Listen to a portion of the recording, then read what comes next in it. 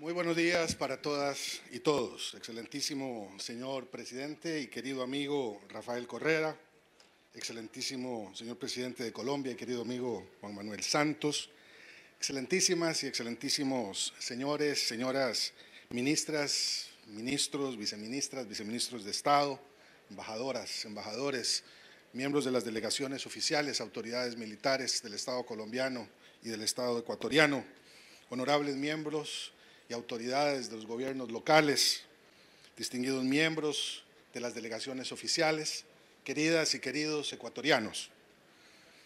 Este es un día particularmente feliz para todas y todos nosotros.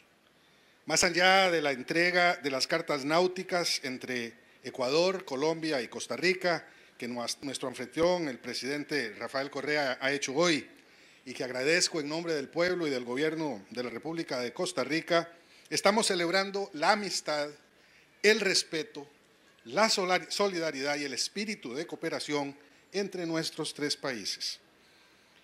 Estamos celebrando en particular un hecho notable y digno de resaltar. Costa Rica, Ecuador y Colombia. Colombia, Ecuador y Costa Rica Hemos logrado definir nuestras fronteras marítimas en el Océano Pacífico mediante el diálogo, la pericia técnica y sobre todo la buena fe y la buena voluntad.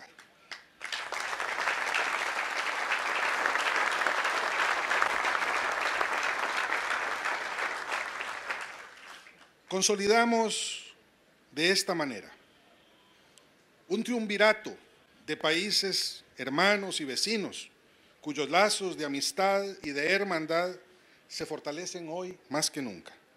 Por ello, nos llena de orgullo y de complacencia ser partícipes de este histórico momento. Nos ilusiona, sobre todo, pensar, como lo ha dicho el presidente Juan Manuel Santos, en las amplias posibilidades de cooperación entre nuestros países que se abren en diversas áreas de la cooperación transfronteriza a partir de ahora.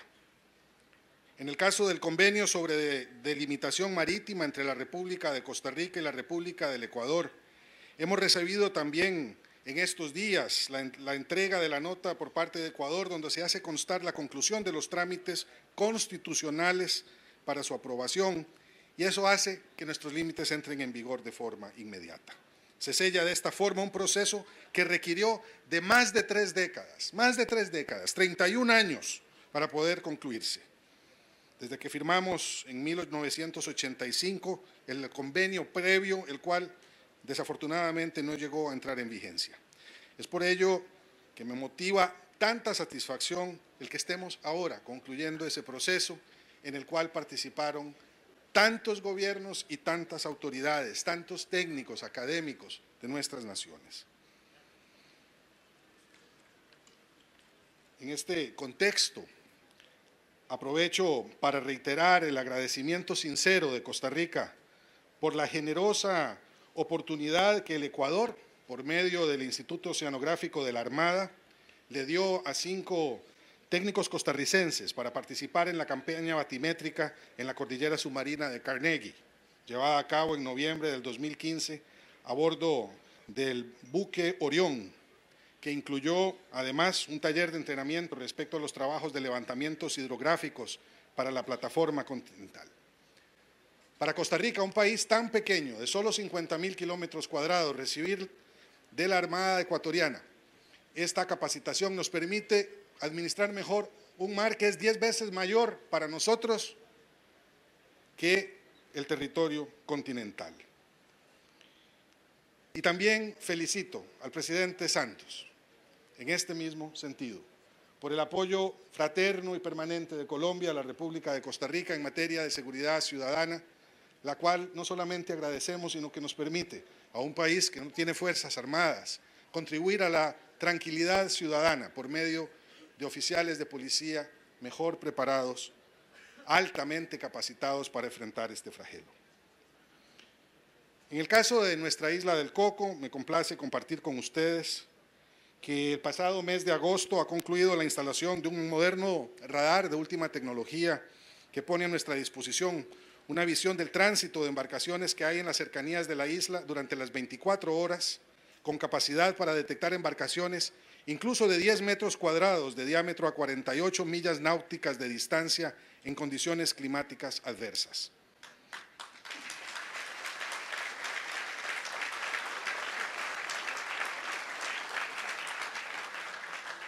Y esto nos permite trabajar de manera mucho más intensa y mucho más cierta en la protección de nuestras aguas y en la cooperación con nuestros vecinos.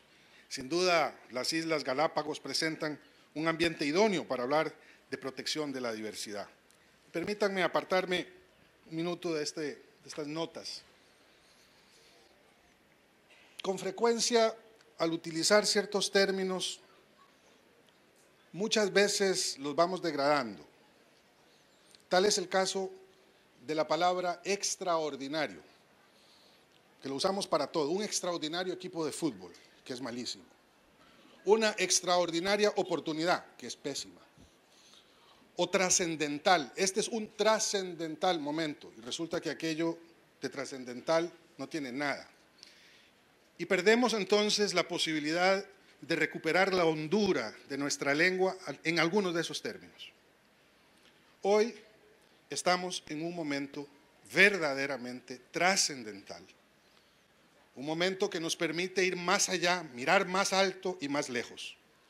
Estamos en un momento extraordinario, uno que no es común.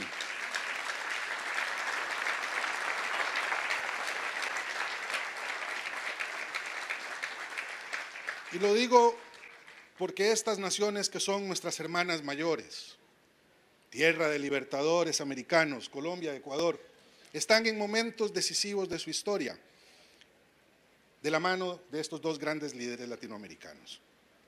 Ecuador, por primera vez en esa dilatada trayectoria por los tiempos de nuestro continente, sella para siempre sus fronteras. Gran momento para esta patria de Loya Alfaro.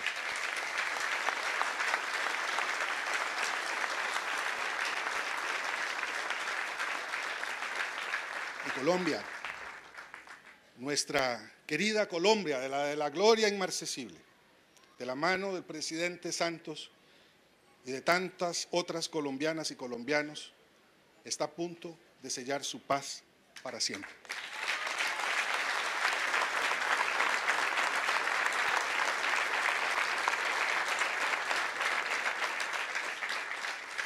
Por eso quiero invitarles a que valoremos este momento como un momento histórico en la, en la vida de nuestras naciones. No es un momento cualquiera.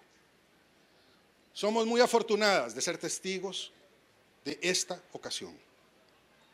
Porque lo que se está viendo aquí, amigas y amigos, no es común, es extraordinario y no es un momento solo de presente, sino también y principalmente de futuro. Por eso es trascendente.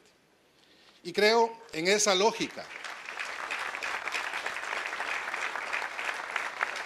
Que al sellar esta alianza tripartita, este triunvirato de esperanzas, estamos cumpliéndole a nuestros pueblos lo que aspiran de sus gobiernos cuando estos son responsables, transparentes, cuando rinden cuentas, cuando buscan la justicia, y es colocarles en un momento mejor de su existencia nacional.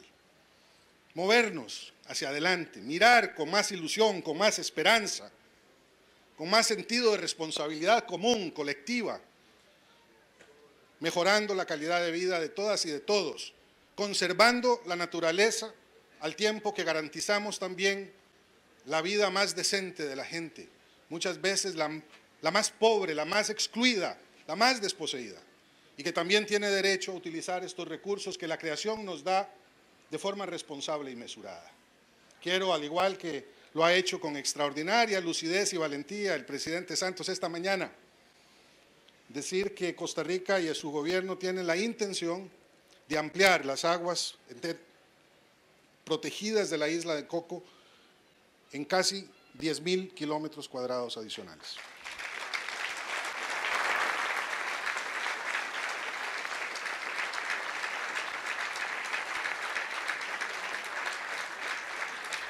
Lo haremos como homenaje a este esfuerzo universal por la protección de nuestros mares y en consulta previa, como ha sido el caso durante toda mi administración, con diferentes sectores de nuestra colectividad, con los cuales en los próximos días nos sentaremos a negociar esos espacios, con los sectores productivos, académicos y científicos, que mirarán con mucho aprecio, estoy seguro, esta voluntad del Gobierno Nacional que sin embargo tenemos que concertar definitivamente en medio de un debate nacional que pronto esperamos concluir. Y quiero, para finalizar, decir algo que muchas veces decimos con poca convicción, tal vez con mucho patriotismo, pero con poca convicción. Hoy les invito a decirlo como tantas veces los escritores de nuestros países lo dijeron con elocuencia. ¡Viva Colombia! ¡Viva Ecuador! ¡Viva Costa Rica! ¡Viva nuestra América Latina! Muchas gracias.